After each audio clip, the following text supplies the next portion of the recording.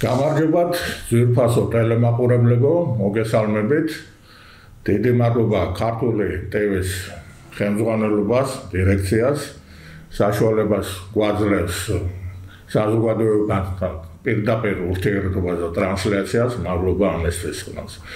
ჩვენი გადაცემის პროექტი მოგეხსენებათ სახელწოდებით არის საქართველოს გუშინ დღეს ხვალ მე გახლავთ უზენე საბჭოს დეპუტატი თენგიზ დიხამეჯია ჩვენთან სტუმრად არის პირველად და ეს კიდე რავალზეს მოვიწვევთ ბატონი თედო პაატაშვილი საქართველოს უზენე საბჭოს წევრი ღირსეული ადამიანი თვალსაჩინო პიროვნება და ასე ახლა მინდა რომ ერთი ორი სიტყვით კიდე შეგახსენოთ თუ ამ პროექტის შინაარსი ეს გადაცემა ეყრდნობა ასე თქვათ საქართველოს ისტორიას ძირითადად გუშინდელი დღე როგორც ასეთი პირობითად და ძირითადად ჩვენ მიმოვიხილეთ 1988 წლიდან დაწყებული მოვლენები და შემდგომ გაგრძელდა ციკლი სერიები და ეს სერიები იქნება მანამ სანამ არ შეიცება ისტორია ამ ქვეყნის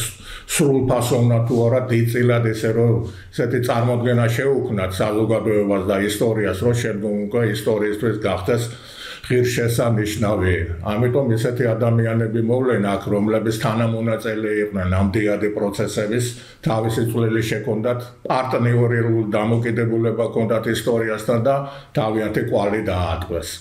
ზოგი გარდაცვლილია სამწუხაროდ, მაგრამ გარკვეულწილად ეს ადამიანები მოვლენ, რომლებიც მათ წლის მაგათ ყვალს აღწერენ და ეს ყველაფერი იქნება, ასე თქვათ, მაინც ეცით როგორი, აი, სარკე იმ მოვლენისა, ყოველ შემთხვევაში ჩვენი გადაცემა ამ პარამეტრებზე და ამ მონაცემებზე იქნება აგებული, რომ ყოველგვარი დამახინჯების garaშე სარკე იყოს სრულ ფასოვნად ასახავდეს იმ დიად მოვლენებს ასანა ჩვენ ქონდა შეხება. პირადად მე ბატონ თედოს უზენაეს საბჭოს წარმოადგენა შემდგომ უკვე კონსტიტუციაზე და შემდგომ კიდე ადამიანებს გარკვეულად ეს გაგრძელდება დღევანდელ და ხვალინდელ დღემდეც რა. იმედია ცოცხლები ვიქნებით ბრძოლის უნარიანები ვიქნებით ადეკვატური ვიქნებით პროცესებისადმი და თქვენი თანადგომით ჩვენ წავალთ შორს ახლა მინდა შევეხო კიდე უფრო კონკრეტულად რამე თუ დავკონკრეტდეთ კიდე უფრო 28 ოქტომბერს მოგეხსენებათ იყო ჩვენი გამოსვლა. ბატონ თემობჟავიასთან ერთად აფხაზეთის უზენაეს საბჭოს ყოფილი თავმჯდომარე დღევანდელი წევრი მაგადაცემაში ჩვენ ვილაპარაკეთ ბევრი პერიპეტიები და ამოვლენებს შევეხეთ.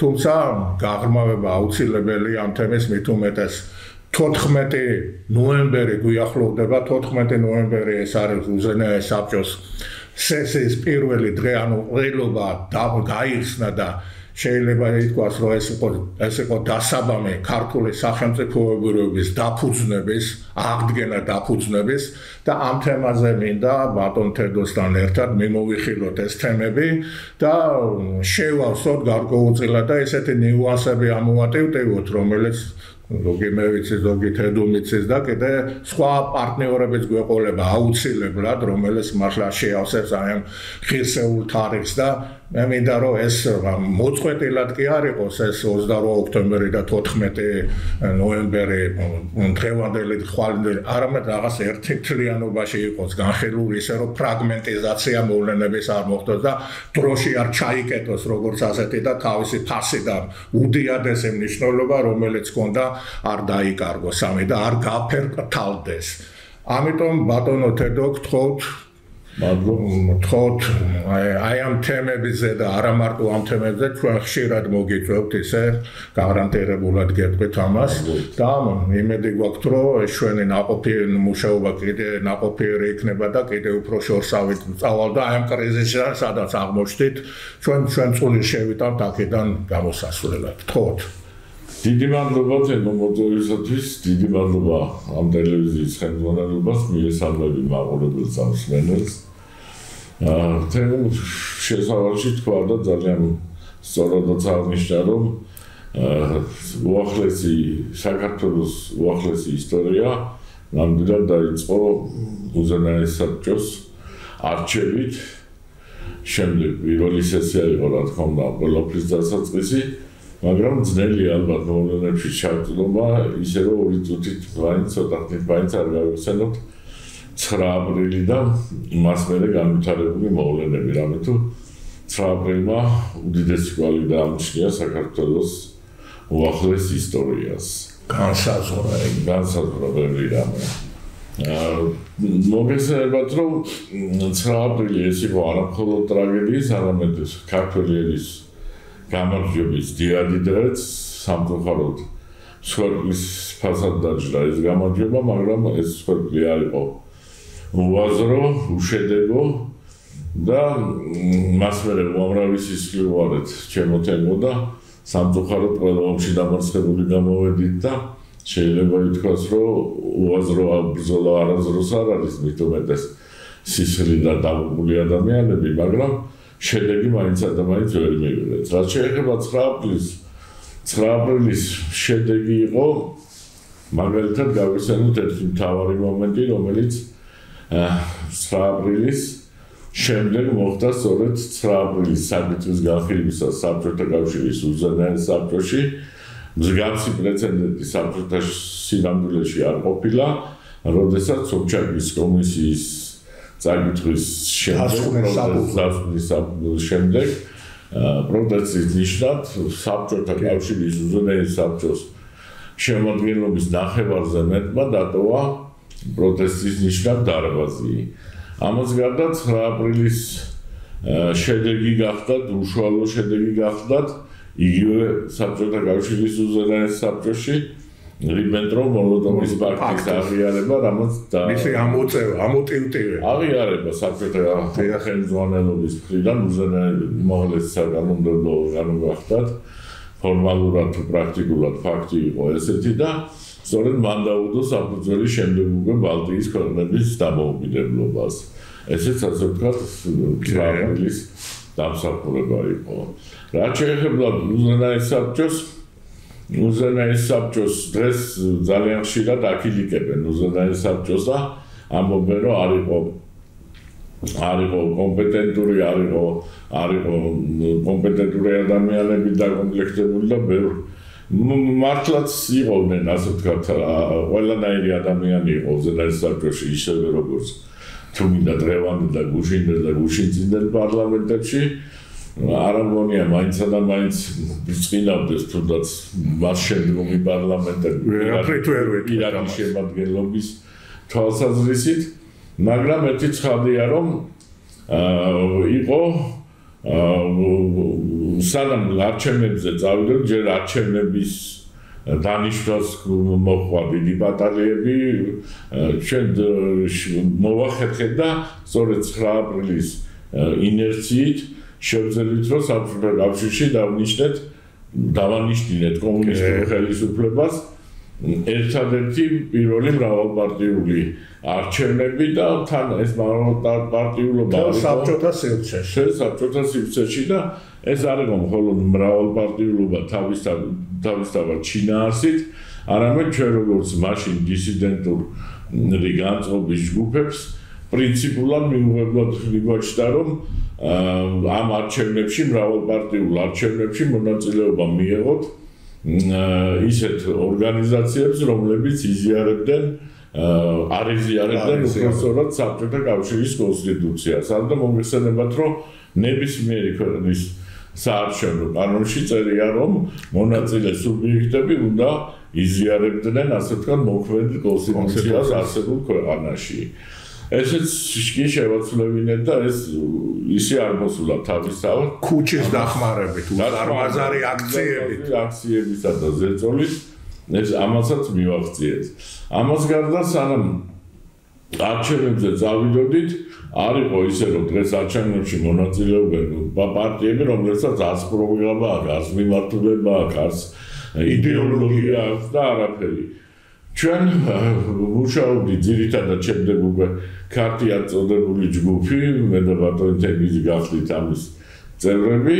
წერდით პოლიტიკურ პროგრამას ხოლო ეკონომიკურ პროგრამაზე მუშაობდნენ გიამაისაშვილი გაცგარდაცვლილი გიამაისაშვილი და ქართველი ემიგრანტი უწესიერესი და განათლებულესი კაცი ბატონი კოკი გუგუშვილი რომელიც გახდა ძინაში დაბადებული ქართველი ემიგრაციაში დაბადებული ქართველი და მაგურებისთვის რო უფრო გასაგები იყოს ეს გახდა პირველი მეუღლე კანონიერება ხო ხო პირველი მეუღლე ქალბატონი პრეზიდენტი ანუ სალომე ზურაბიშვილისა.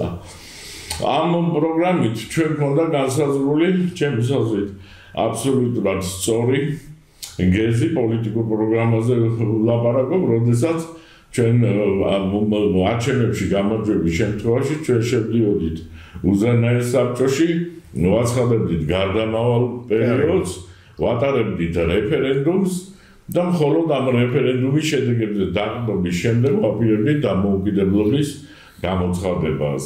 თუმცა უკაცრავად ჩაგერთობით ბატონ თედრო ჩვენ როგორც გამარჯვებულ პარტიას რეფერენდუმის გარეშე შეგვეძლო დამოუკიდებლო გამოგვეცხადებინა მაგრამ გაურისკეთ და ლეგიტიმაციის მაღალი ხარისხი რო ყოფილიყო სწორედ ზანეთ თქვენ მოახდენეთ რეფერენდუმის გატანამ საკითხს დანარჩენი თქვენ ბრძანეთ.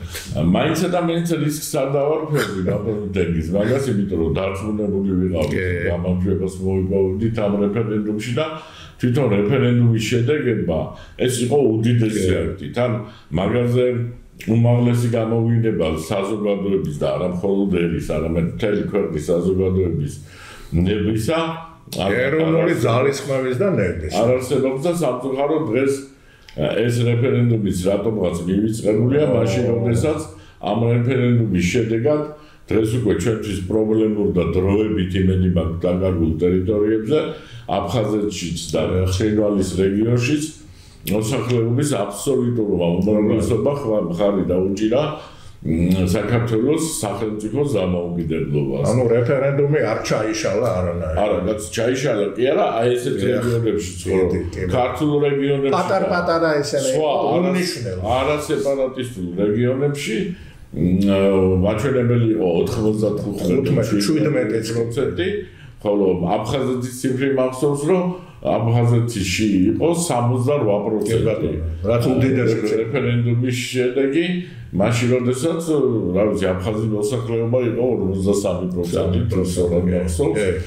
ხო და იქ ძალიან დიდი წილი იყო სოფური მოსახლეობის და ქართული მოსახლეობის ხმა ნამდვილად ვერ იძლეოდა 68%-ს. რაც აშკარა მაგალითი იყო არა ქართულმა მოსახლეობამ ხარი დაუჭირა, რა თქმა აფხაზურმა მოსახლეობის დიდმა ნაწილმა ხარი დაუჭირა საქართველოს სახელმწიფოებრივ დამოუკიდებლობას. ეს შემისაზრით ძალიან მნიშვნელოვანია და კარგია თუ არ დაიწყებს არც ხელისუფლება და არც შემდგომი თაობები ამ ამ აქტის და რეფერენდუმის აქტის მნიშვნელობას. როგორც მოიხსენებათ, ჩავატარეთ რეფერენდუმი და რეფერენდუმის ჩატარების შემდეგ და შედეგების ოფიციალური შედეგების გამოქვეყნების შემდეგ სწორედ 9 აპრილის და არა შემთხვევით გამოვაცხადეთ საქართველოს სახელმწიფოებრივი დამოუკიდებლობის აღდგენა. სამწუხაროდ დღეს მარტო იმიტომ რომ ეს ამაში რა თქმა უნდა ლომის წილი იყო ბატონის ზიად გამსახურდიას დამსახურება იმიტომ რომ შემდგომ ხელისუფლებებმა ეს უმაღლესი სახელმწიფოებრივი თარიღი არ დაკანონებულიყო დღემდე ზეიმობ საქართველოს დამოუკიდებლობას მომიხსენება 26 მაისს მაშინ როდესაც სამწუხაროდ 18 წლის 26 მაისი სამწუხაროდ იყო უდღეული დამოუკიდებლობა სულ რაღაც 3 წელიწადს ვერ გაძლო მაშინ დამოუკიდებლობა საქართველოს. და გარედან ლეგიტიმაციაც არ გააჩნდა. სუბიექტური და ობიექტური მიზეზების გამო და დღეს რატომღაც მაინც ზეიმობთ 26 მაისს აშკარა ნიველირება 9 აპრილის ფასეულებების და მოვლენების. დამოუკიდებლობის დღე ვაღიარებთ 26 მაისს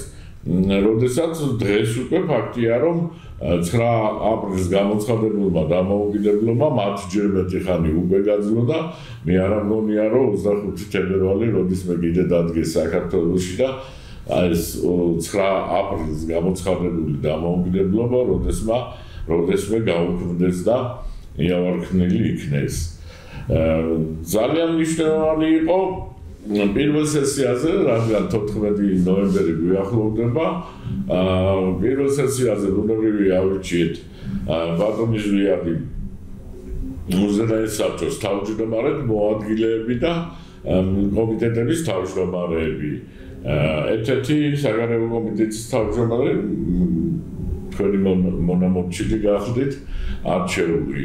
მას შემდეგ ძალიან მნიშვნელოვანი ნაბიჯების გადადგმა ვცადეთ სამწუხაროდ ბევრი დაწყებული პროცესი ვერ დავამთავრეთ მოგესალმებათ განვითარებული სისხლიანი მოვლენების გამო მაგრამ მაინც მინდა აღნიშნო ის რამდენიმე ძირითადი პრობლემა რომელი პრობლემამაც ასე ვთქვათ დააჩქარა შემდეგ ეროვნული ხელისუფლების დამხობა და ასე ვთქვათ, დაიწყო ის შეუქცევადი პროცესები საქართველოში, რომლის საფუძვლად სისხლიან და არამხოლოდ სისხლიან შედეგებს დღესა დღემდე ვიმკით. ერთ-ერთი პირველი იყო საგარეო მომენტიდან დავიწყებ, როგორც ასე ვთქვათ, ოფილის საგარეო კომიტეტის თავმჯდომარე, ძალიან მნიშვნელოვანი გახდათ. დამოკიდებულება და დღესაც ძალიან მნიშვნელოვანია. დასავლეთისა ჩვენ მიმართ. მე მახსოვს რომ მე ბატონი კაკუასათიანი და მე რა მოგიდია გახლით ვაშინგტონში ვიზიტით მალევე 28 ოქტომბრის საპარლამენტო დელეგაცია. საპარლამენტო დელეგაციის ასე ვთქვათ შემადგენლობაში და 42 სენატორსა და კონგრესმენს შევხვდით და პირდაპირ უნდა გითხრათ რომ მიუხედავად იმისა რომ აქტუალურული იყო რომ ანტიკომუნისტურმა ბლოკმა დემოკრატიული არჩევნების შედეგად მაშინ ჯერ 9 წელს დამოუკიდებლობა არ ქონდა გამოცხადებული გავიმარჯვეთ და ასე ვთქვათ სრული ლეგიტიმაციით და კანონიერებით მოვედით ხელისუფლებაში ამ 42 სენატორი და კონგრესმენიდან მხოლოდ ორად ორი კაცი იყო. ერთი იყო კალონ მურთელი, ყოფილი ბრედლი გვარა. ახსოვს ბრედლი, ძალიან თეთრკანიანი. კი, თეთრკანიანი, მაღალი, სიმპათიური, ძალიან კულტურული კაცი. ბრედლი გვარა და მეორე რაღაც იტალიური გვარი იყო აწუჩი ვერ. ეს როგორც რესპუბლიკას ისევე ეს იყო დემოკრატი ბრედლი და რესპუბლიკელებიდან ერთადერთი კაცი იყო. ეს იტალიური გვარის კონგრესმენი. რომლებიც მეუბნებოდა რომ სწორი ხართ მიდით დამოუკიდებლობა სრული და საბჭოთა კავშირი მაინც დაიშლება. დანარჩენი 40 კაცი და შეხვედრები ქონდა სახელმწიფო დეპარტამენტში და სხვადასხვა სამინისტროებში, აი ძალიან იშვიათად რომ ვინმე პენტაგონის წარმომადგენლებთან შეხვედრის დროს კიდე გამოიჩინეს რაღაც ყურადღება წმინდა სამხედრო თვალსაზრისით. ამ პენტაგონის წარმომადგენლებმა დანარჩენი ყველა მეუბნებოდა რომ რა გიდა გაუმარჯოს გარბაჩოვს თქვენ კალაკოჩი იყავით მოხდა ხო პერესტროიკა ჩვენი ვარ მიდის ეხა 15 საელჩო 4 თუ 6 ატომი ახალი გეოპოლიტიკური რეალობები. ხო ატომური ქვეყანა შეგვიდა უკრაინა კონტროლებული ხო. 15 საელჩო 4 თუ 6 ატომური ქვეყანა. მოკლედ ეგ პრობლემებია მიყევით პერესტროიკას და ყველა ჩვენ უნდა მოდით რომ ჩვენც რომ მივყვეთ მაინც ისე მიდის პროცესები რომ ეს თავისი თავისთავად თუ წავა უმართავ პროცესებში გადაიზრდება და ამიტომ ჯობია რომ ვაკონტროლოთ და კანონიერი გზით რეფერენდუმზე დაყრდნობით აი ზუსტად ამას მოდით რომ ჩავატარო რეფერენდუმი უნდა ვაცხადოთ დამოუკიდებლობა დამოუკიდებლობა რომელსაც ვერავინ ვერ შეეწინააღმდეგება თვით საბჭოთა ბიუროკრატიის ერთი შეკითხვა მაქვს თუ შეიძლება? აი გასაგებია მაგათი პოზიცია. აი განსხვავებით ასე თქვა ბალტიის ქვეყნების ბალტიის პერეთ სხვა მოთხოვნები წაუყენეს იმ კონგრესმენებმა როგორც დემოკრატებმა ისა თუ ჩვენს მიმართ იყო გორბაჩოვი არა მე არ ვიცი ეს იყო ჩვენი დელეგაცია. ანუ ამ თემაზე აყოფება ლაპარაკი. არა ბალტიის პირეთი მაშინ დღეს მიგვაჩნია რომ რაღაც აუცნებოა რა ხან დატოს წევრი. ბალტიის პირეთში 9 აპრილის შემდგომ დაიღვარა სისხლი სამივე რესპუბლიკაში. ყველა სამივე რესპუბლიკაში.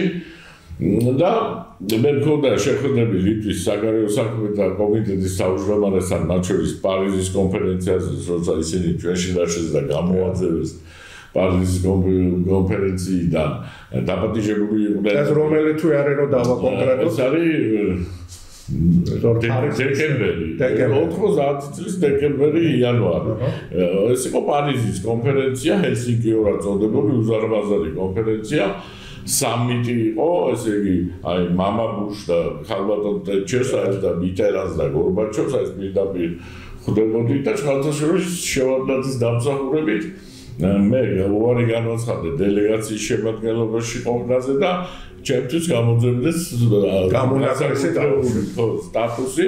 ვიყავი საბჭოთა კავშირის საელჩო საპატიო სტუმარი.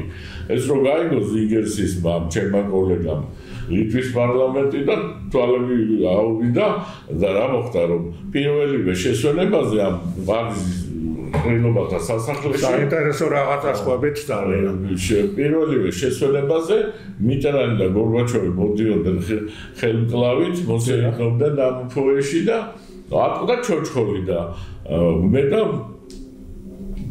მე და დათო ვიყავით გვახდა ჩიკვაიძის უმცროსი ვაჟი ალექსანდრე ჩიკვაიძის უმცროსი ვაჟი საოცრად კარგი ძილი ახალგაზრდა ისე თან თვალადი ოჯახში შვილი ჩამოყალიბებული და გამგებულდა რა ხდებოდა? რომ მივედით გაიგვა რომ ერთ-ერთ ბალტიისპირელ დეპუტატს 12 დეპუტატი იყო სამი ბალტიის ქვეყნიდან სკანდინავიის ქვეყნების ანუ ისინი ერთობლივი ფრონტენ გამოდიოდნენ ხო ხო არა არავის გამოსვლა იქნა უბრალოდ ესრებოდნენ და ხდებოდნენ დელეგაციები კი ბატონო. მაგრამ გამოსვლის უფლებას ნამდვილად არავინ არ მიცემდა ეს როლა რეპლიკა ერთ-ერთმა გორბაჩოვს რაღაც აგუბან თუ რაღაც შეურაცხყოფელი. ხო შეურაცხყოფელი რეპლიკა და გორბაჩოვმა ეკითხა ესე ვინ არის ხო და ლიტერალურად დაიგნა ხა სულ არ იცოდა იქ მიდიოდნენ ბალტიის მიერლები თუ ბედეს რუსული რეპლიკა ვერ გააჩია და დაცვა მე ვიდა იკითხა და ესენი ბალტიმბერე რა უნდა თამათან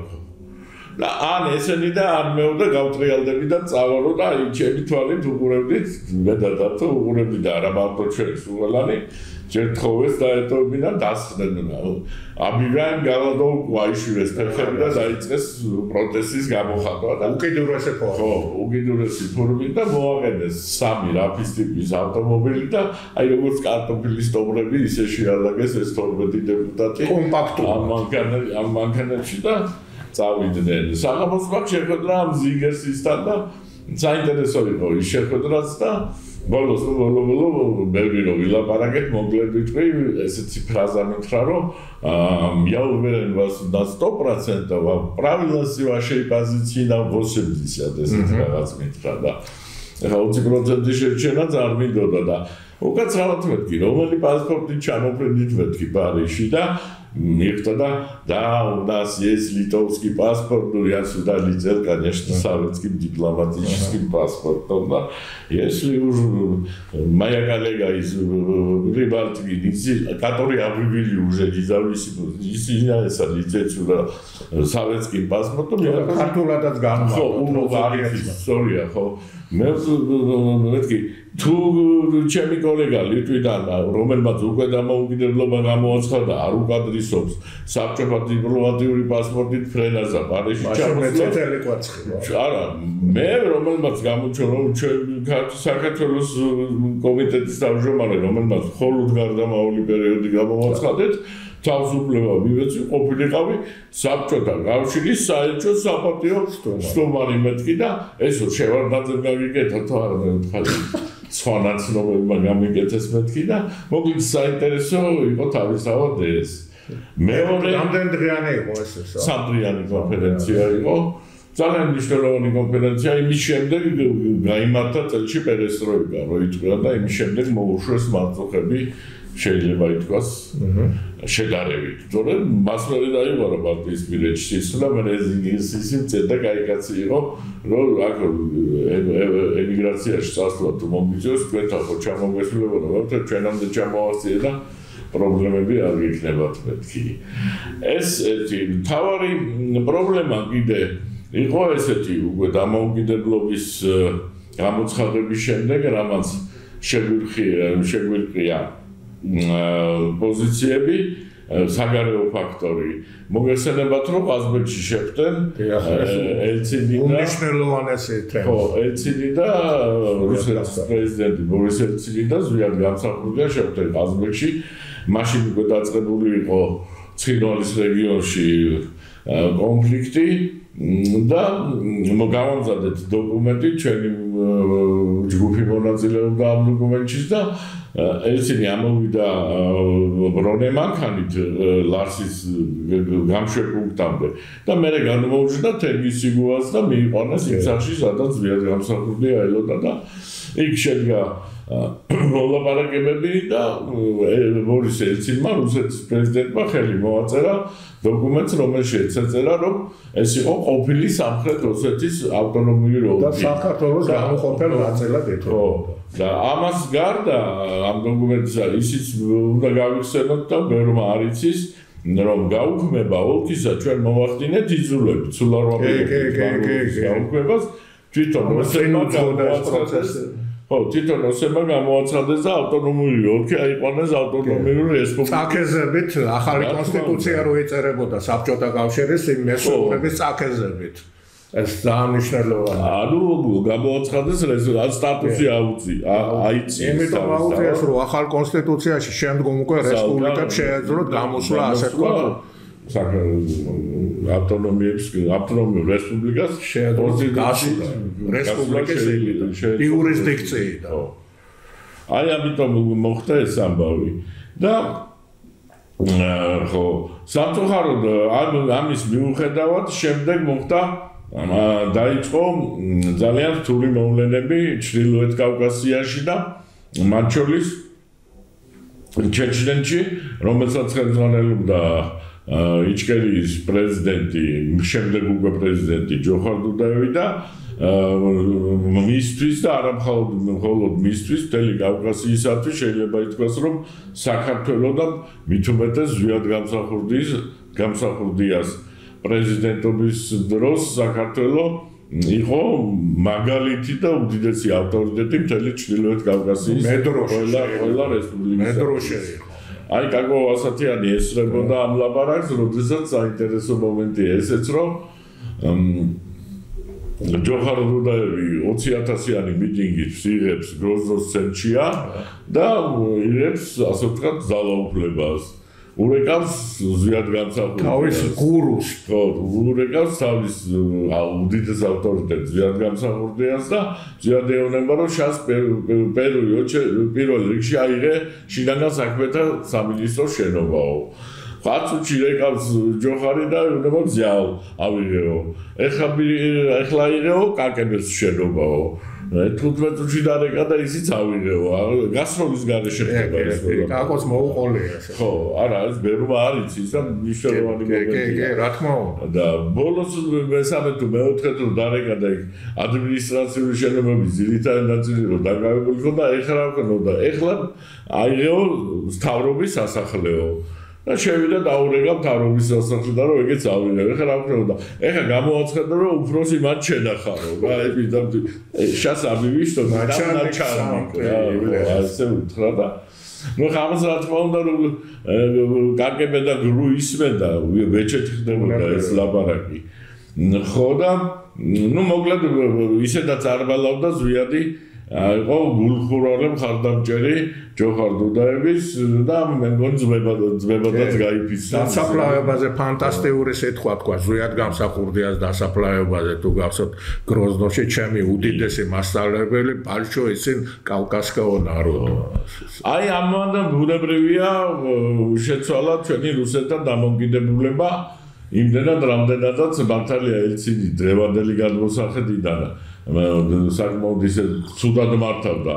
მომაკვდა საბჭოთა კავშირს უბრალოდ საბჭოთა კავშირის შემდგომ შემდგომ დარჩენილ ძალიან შესუსტებულ რუსეთს მაგრამ რუსეთის დაშლა არც მის და სამწუხაროდ არც დასავლეთის გეგმებში არ შედიოდა და მახსოვს რომ შემდეგ უკვე მერაბურიას ჩვენი დეპუტატი გახდა თუ ზედაის საბჭოს ღმერთმა გარდაცვლილია მე დიდი ადამიანს.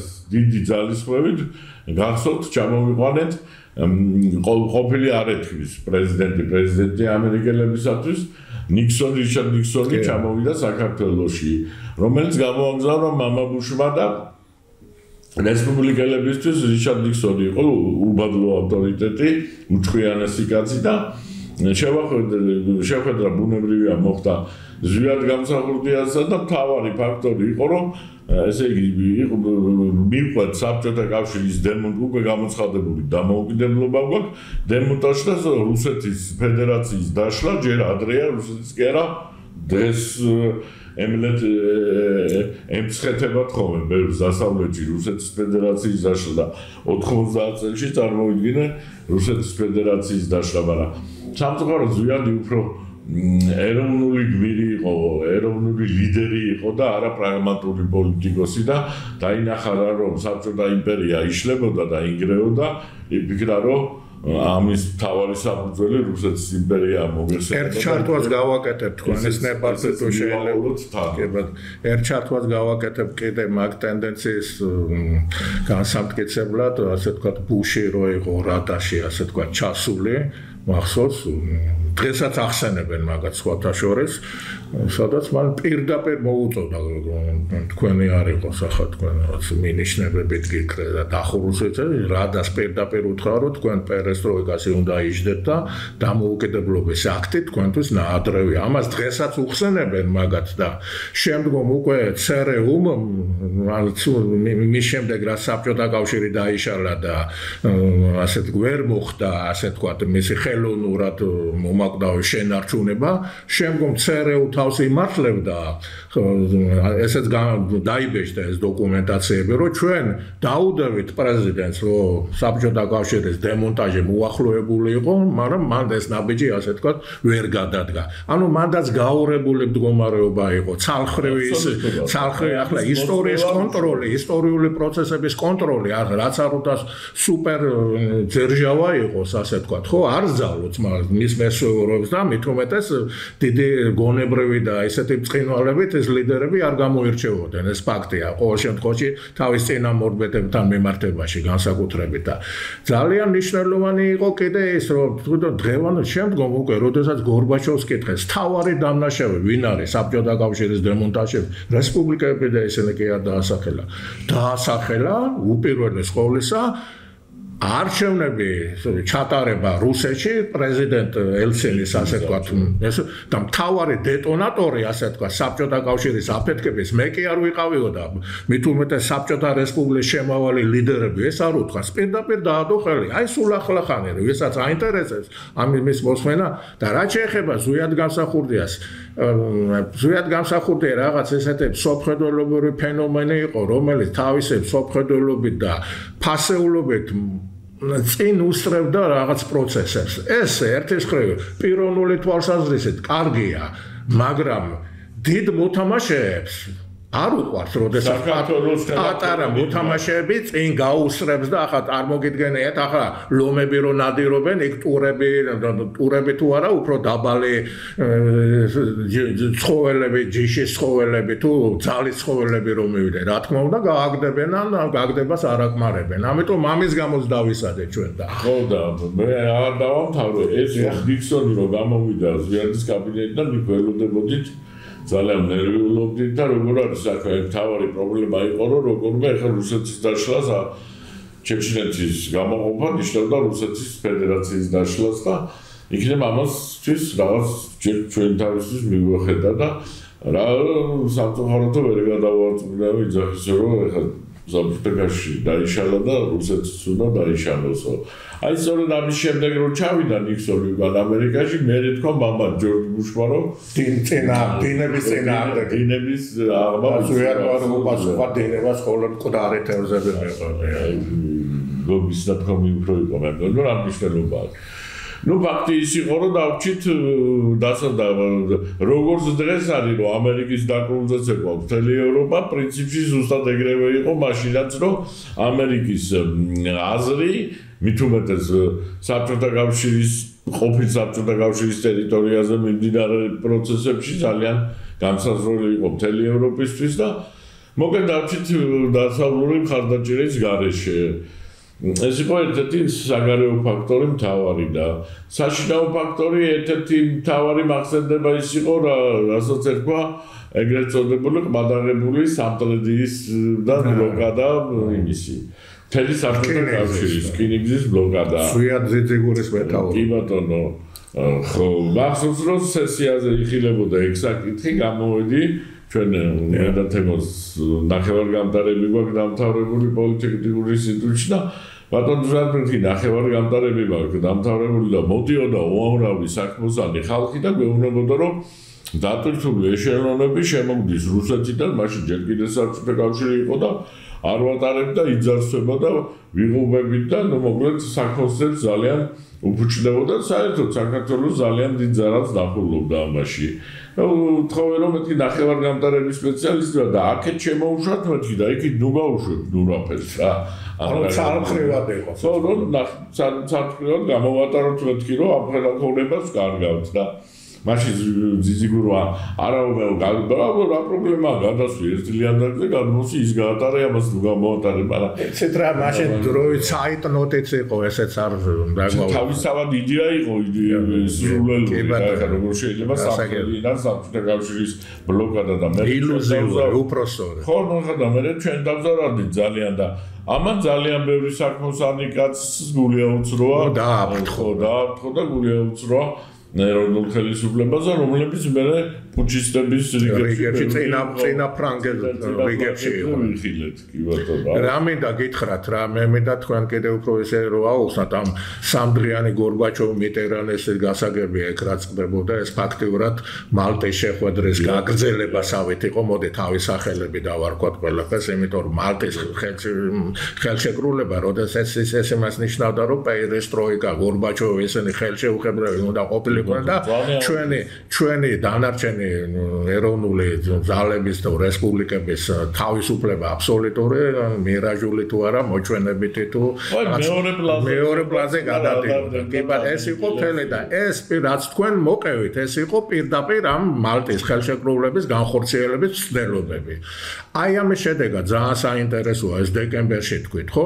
დეკემბერში ტარდება დეკემბრი და დეკემბერე 3-4 თვის შემდეგ მოხდა გარდამავალი პერიოდის ასე თქვა დასრულება, ანუ და ჩვენ რეფერენდუმის ჩატარება და რეფერენდუმის 31 მარტის რეფერენდუმი სულ თუ არა საქართველოს დამოუკიდებლობა და მისი აღდგენა, ასე თქვა, დამოუკიდებლობა უმრავლესობამ ლეგიტიმურად ხმამისა ამ ყველაფერს. და ეს 9 აპრილით ასე თქვა დაგვირგვინდა და შემდგომ დღეს რითიც არსებობს ეს სახელმწიფო სუვერენული დგას იმ ფასეულობაზე და იმ მონოპოლაზე.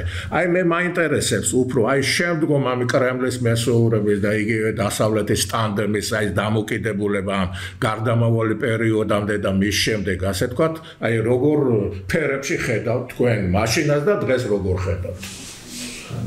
შემელია დარწმუნებით გითხრათ რომ რომ არა ჩვენ რეფერენდუმზე ხო ადრეს ვთქვი და ახლა კიდე გავიმეორებ რომ ვერც ერთმა საბჭოთა ჩინოვნიკმა ვერ ამოიღო ხმა მეტიც ვერც რუსეთის ელცინის რუსეთის ჩინოვნიკებს ამ რეფერენდუმის საწინააღმდეგო არაფერი ქონდა პირიქით თვითონ რუსეთსაც უნდა და ასე ვთქვათ ბალასტის მოშორება ფიქრობდა რომ მაინც ჩვენი საჩენია ეს 15 რესპუბლიკა და რუსეთი ამ რესპუბლიკების გარეშე უფრო დიდარი და უფრო წარმატებული იქნებაო.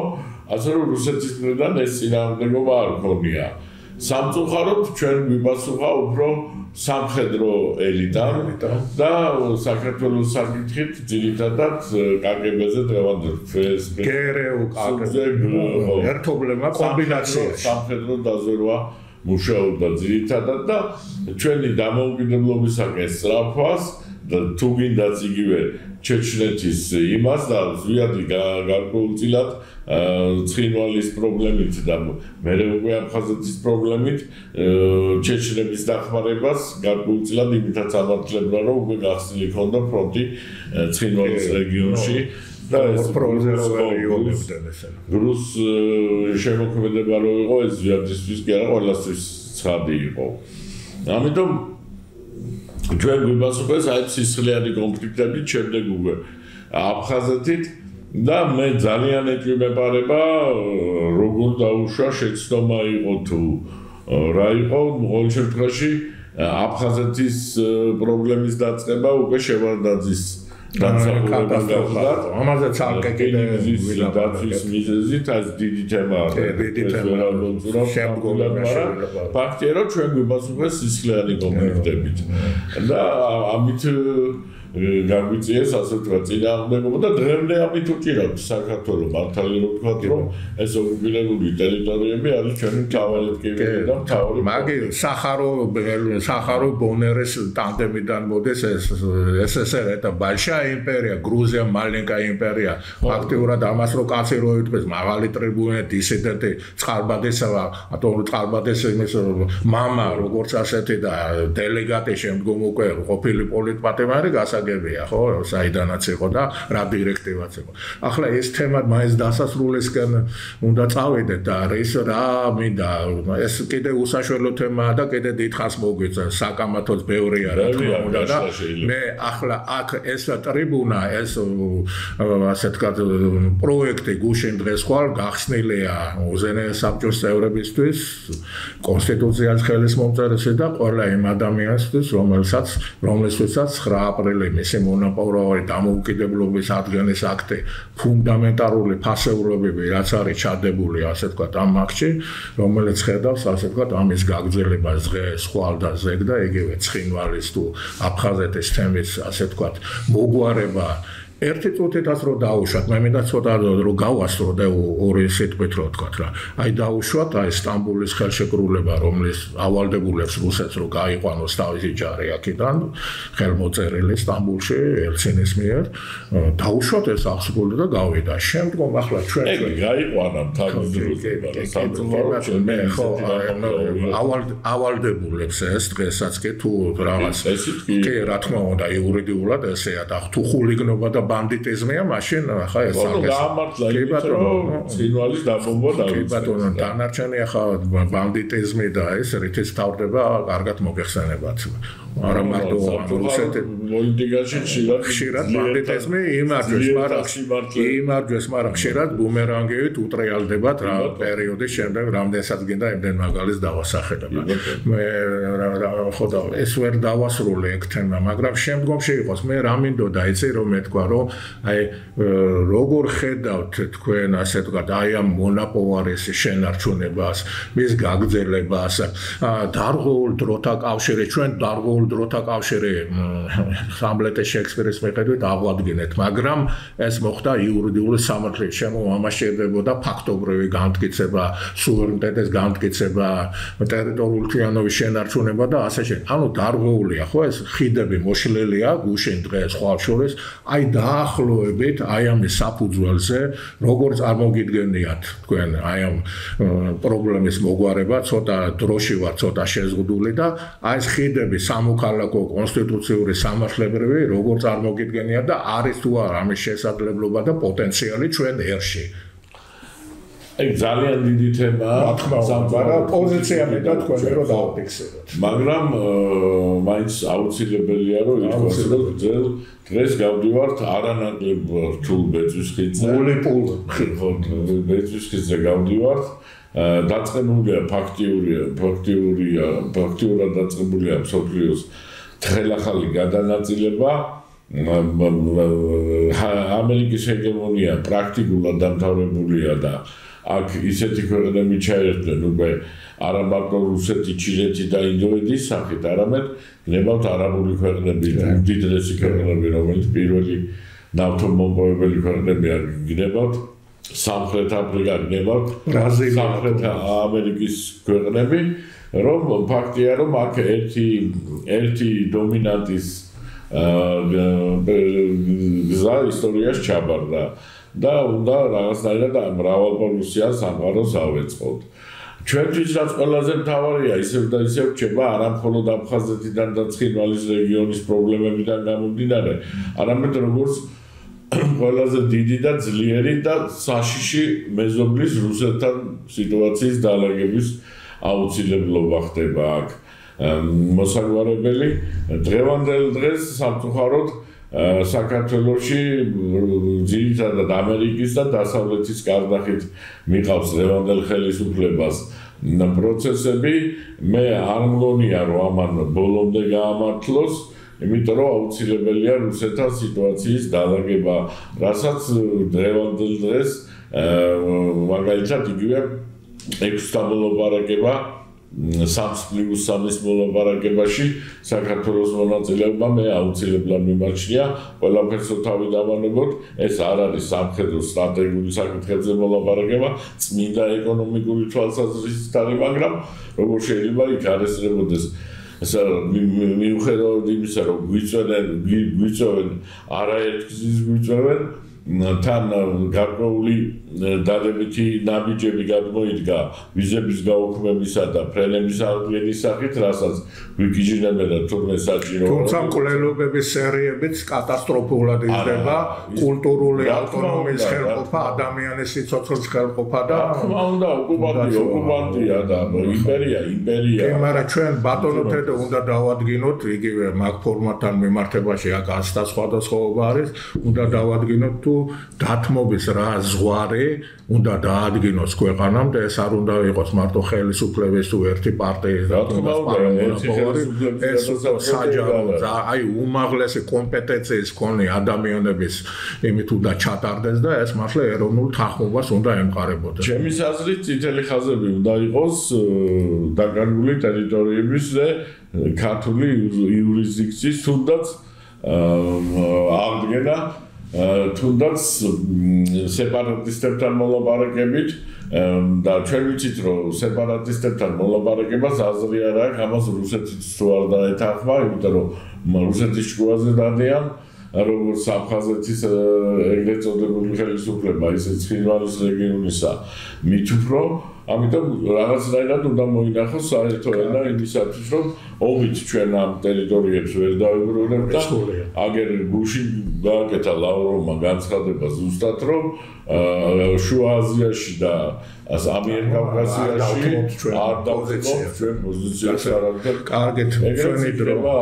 ჩვენი დრო ფაქტიურად ამოიწულა დიდი მადლობა ბატონო თედო გაგრძელდება ეს ისინი ასთა სხვადასხვაობა აუცილებლად იქნება თუნდაც იმ ექსეულის ფორმატთან მიმართებაში მაშინ როცა ანგლოსაქსებმა ეგ რუმინეთის ბულგარეთის და ამის ემით გემები და ესენი არა სხვა ფორმატი არ არის და იმიტომ ამბობ მე უბრალოდ დღესდღეობით ეგ ფორმატია სადაც ვებატიჟებია კი ბატონო თუმცა ეკონომიკურია და რატო არ უნდა თუმცა ამაზე სხვა ძალიან ქვეყნაზე სადაც უშუალო ჩამოკიდებული ხარ მაგათ მაცხარი თუ არ დაგეჭერეს ეს კატასტროფას გამოიწვევს ამიტომ აი ამ ერთობლივ კომპლექსურ საკითხებში მე გეთანხმები თქვენ რომ კომპლექსურ საკითხებში უნდა გადასწრეს ეს და არ უნდა იყოს ვიღაც უხილავი ლიდერის თუ ვიღაც მოჩვენებითი ადამიანის თავის მოსახლეობას იმ ჭირის უფალი რო ვერ გახდება და იმას რო ვერ მიუსამძიმრებს ასე თქვა სამძიმარს რო ვერ იტყვის და ეს რო ქვეყანას მართავს ეს ახლა ნონსენსიც არაა საერთოდ სამარცხვინოა რა ქვეყნის ბედიღბალი. კაი მაგ თემაზე არ მინდა რომ შევიდეთ. და მადლობას მოგახსენებთ და 14 კიდე ერთხელ მინდა გამოთქვა ხარდაჭერა გამოთქვა შეხვედრისადმი ჩვენ აუცილებლად გვექნება უზენე საბჭოს წარმომადგენლებს აი შეხვედრა და ეს ტელევიზია ხარდაჭერა აღვიქვა თვალსაზრისით. ეს უნდა იყოს თავისუფალი დამოუკიდებელი დეპუტატებს რომელსაც არანაირი არც უფროსი ყავს არც დირექტივის გამცემი ყავს მხოლოდ და მხოლოდ თავის თავის იმას ემორჩილებს ეხებიან გადაწყვეტილებას და მინდა რომ ეს ეროვნული თანხმობისა და ამ კრიზისიდან გამოსვლის კონკრეტულ გზებზე იყოს ორიენტირებული. იცოცხლე. დიდი მადლობა, მადლობა.